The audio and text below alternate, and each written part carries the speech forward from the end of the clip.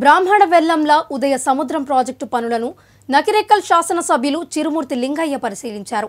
సంబంధిత అధికారులతో మాట్లాడి జరుగుతున్న పనులను జరగవలసిన పనులను అడిగి తెలుసుకున్నారు. ఈ సందర్భంగా ఆయన మాట్లాడుతూ వ్యవసాయ రంగానికి లక్ష ఎకరాలు సాగునీరు అందించే కార్యక్రమం గురించి ఇటీవల ముఖ్యమంత్రి దృష్టికి తీసుకువెళ్ళడం జరిగిందని తెలిపారు. ఇరిగేషన్ రంగానికి అత్యధిక ప్రాధాన్యం ఇస్తూ ప్రతి ఎకరానికి సాగునీరు అందించాలనే లక్ష్యంతో అపర భగీరథుడిగా సీఎం రాష్ట్ర వ్యాప్తంగా ప్రాజెక్టును పూర్తి చేస్తున్నారని అన్నారు.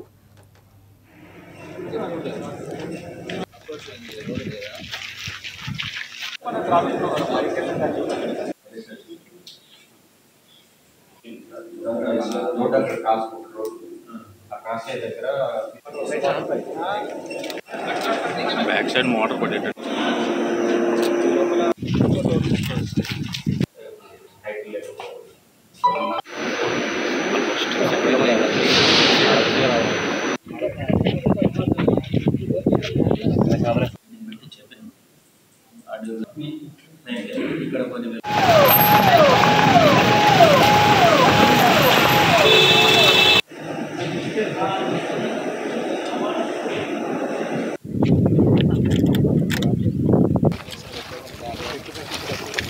If